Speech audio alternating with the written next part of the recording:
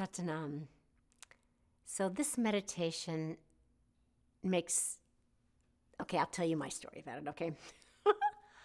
I had done many meditations for a thousand days, but I hadn't done it consciously. So I asked my teacher, Yogi Bhajan, for a thousand day meditation.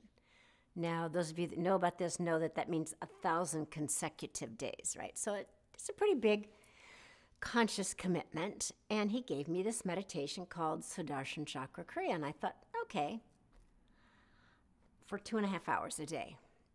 So I did it for two weeks, and I think I hated about 90% of the time I was doing it. And I was like, I can't do this anymore. I hate this meditation.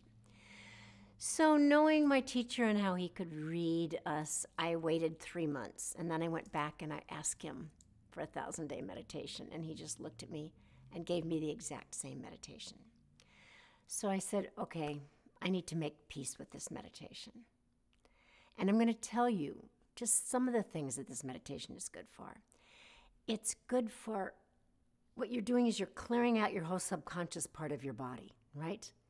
And in the place of that, clearing out because you're pumping, pumping and nothing like pumping to just clear everything out. But you're pumping in new energy. You're pumping Waheguru, that sound of mm, magnificent ecstasy in, right?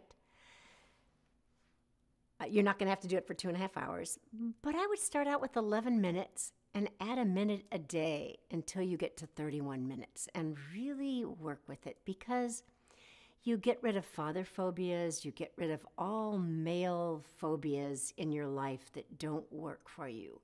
You get rid of everything that you've, all the gunk in your subconscious, and it gets you really clear because your intestinal tract, which you're pumping in this, and your diaphragm, your emotional body attaches into your diaphragm.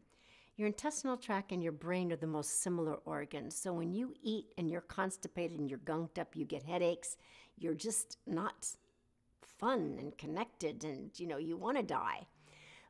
But when you die to the past knowingness and beliefs and experiences that you've had with your whole male lineage, you get to create a new projection in life because that's what the male is the projection, the organization, the discipline, the you know, the external connectivity.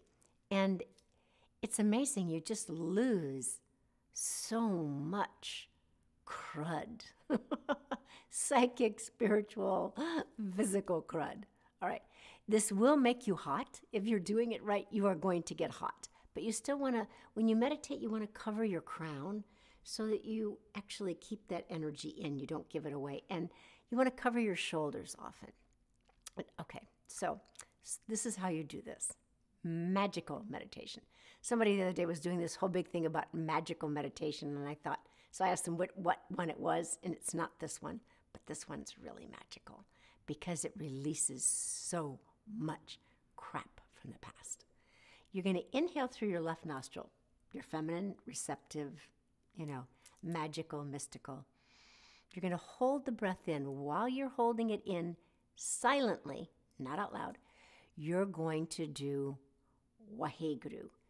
You're going to do 16 Wahegurus, but it's 48 pumps. So it's Waheguru, Waheguru, Waheguru, Waheguru, Waheguru, Waheguru, Waheguru, Waheguru, Waheguru, Waheguru, Waheguru, Waheguru, Waheguru, Waheguru. Then you exhale out the right nostril. Okay. So while you're pumping, all the stuff that gets pumped up, you get to release it out the right, the male projective side of your body. Okay. I'm going to do it out loud for you for the first few times, just so that you get in the rhythm and you don't feel like you have to keep track. But you can keep track on your fingers, right? 15 digits, and you can just have one right at the end with the 16. And this is a meditation that was given, and it's in the Siri Guru Granth Sahib, and I can't remember what guru this was given to, but it's a really profound and amazing meditation to just die to the fear of that which holds us, which is encoded in our subconscious part of your body, subconscious part of your, because that's what runs you. That's what runs your life. Okay? So let your left or right hand, whichever one you're not going to be using, be in Gyan Mudra, palm up on your knee. Use the other one to inhale. You're going to focus at your third eye. You're going to inhale deeply. I'm going to say it out loud. You're going to say it silently. And you're going to pump with each sound. Wah, hey, guru, wah, hey, guru, wah, hey, guru, wah, hey, guru, wah, hey, guru, wah, hey, guru, wah,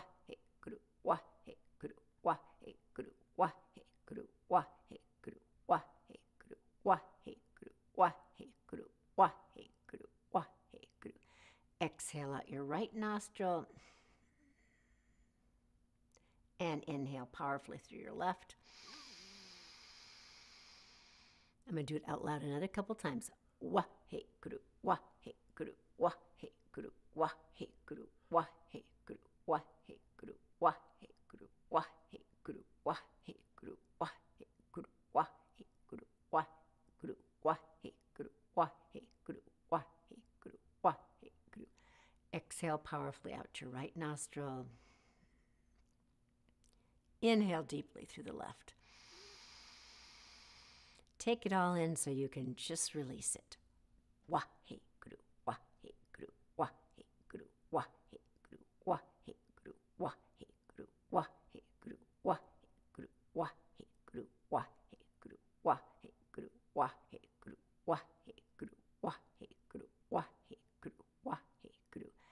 Exhale out your right nostril. And I'm just going to do it two cycles with you silently. Inhale deeply. Inhale, inhale. And remember, each part, the wa, the hey, and the guru, each get a pump.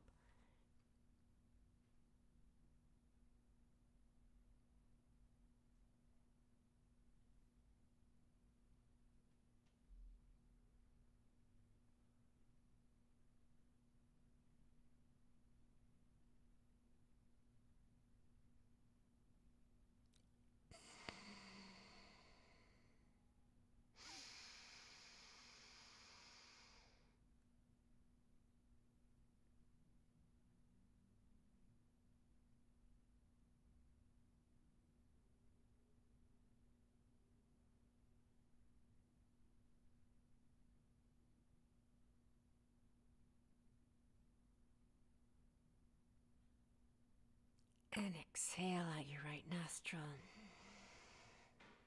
Inhale deeply. And just sit quietly for a moment.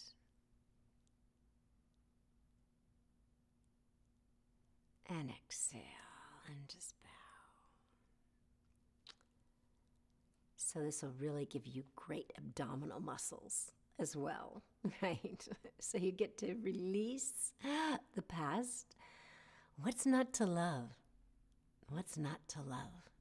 Okay. You may hate it. I've had more people that have hated this meditation, but just do it. You will fall in love. I still do it every day. It's that's how deeply I fell in love. So fall in love and let the things that do not love you back fall away from you. It's fall. Blessings.